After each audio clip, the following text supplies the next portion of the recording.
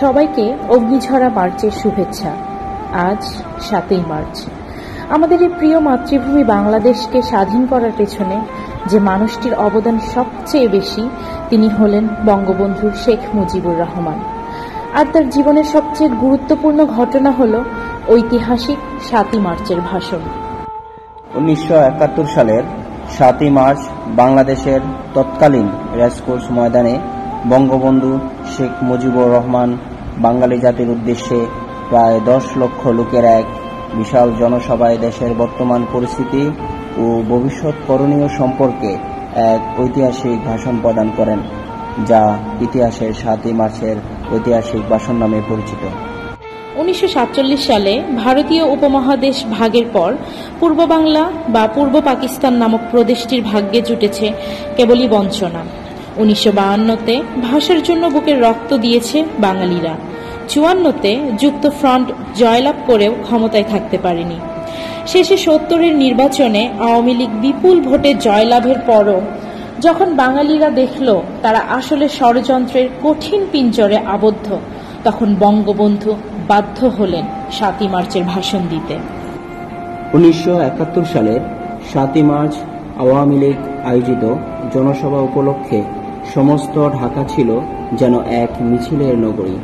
খণ্ড খণ্ড মিছিলের গন্তব্য ছিল সোহরাওয়ার্দী উদ্যান, যেখানে ইতিহাসের মহানায়ক বঙ্গবন্ধুর ভাষণ দেওয়ার কথা। জনতা অধীর আগ্রহী ছিল বঙ্গবন্ধুর ভাষণ নিয়ে। কি বলবেন তিনি?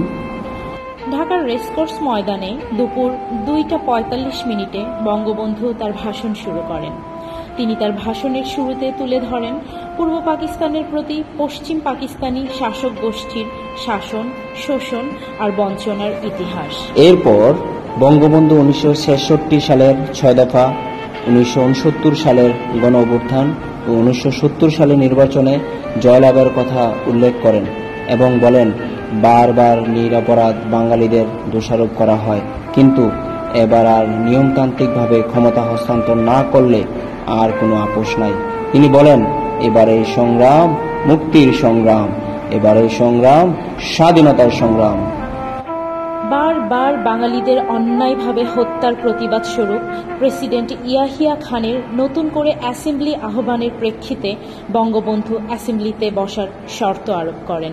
শর্তগুলো ছিল সামরিক আইন প্রত্যাহার করা, সৈন্যদের ব্যারাকে ফিরিয়ে নেয়া, সকল হত্যাকাণ্ডের তদন্ত করা এবং জনগণের প্রতিনিধির কাছে ক্ষমতা হস্তান্তর করা।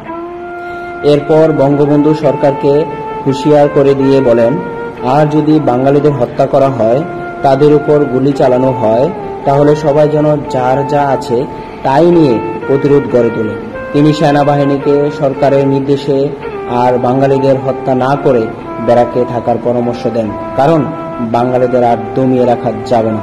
যেহেতু নির্বাচনের বিজয়ী দল আওয়ামী লীগের কাছে ক্ষমতা হস্তান্তর না করে সরকার হত্যা এবং ষড়যন্ত্রের রাজনীতি করছে, তাই জনগণকে পরিপূর্ণভাবে সরকারের প্রতি অসহযোগ আন্দোলনের ডাক দেন বঙ্গবন্ধু।